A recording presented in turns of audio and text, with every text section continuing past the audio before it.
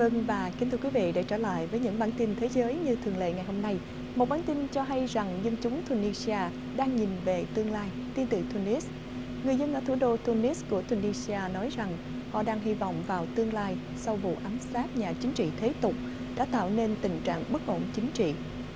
Ngày hôm qua thì khoảng 6.000 đảng viên của đảng Ennahda đã xuống đường để bày tỏ sự ủng hộ đối với nhà lãnh đạo Rachid Al-Ghannouchi của họ.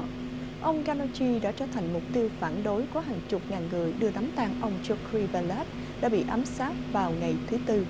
Một người Tunis giống tên nói rằng ông ta hy vọng những điều mới sẽ diễn ra.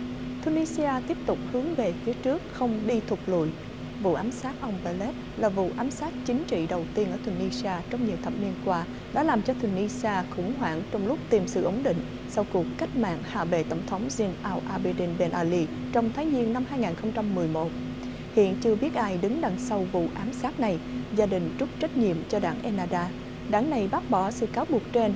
Ông Buhan là một người Tunis khác nói rằng Ennahda là một đảng tốt, nhưng người dân không để đảng này làm việc là vấn đề lớn.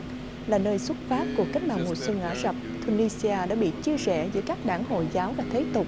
Dân chúng bất mãn tình trạng suy sụp kinh tế sau khi lực độ Tổng thống Zain al-Abidine Ben Ali. Trong các tháng gần đây, thì các đảng thế tục lên án chính phủ đã có phản ứng yếu ớt trước những vụ tấn công nhà hát, quán rượu và cá nhân của thành phần Hồi giáo cực đoan Salafist.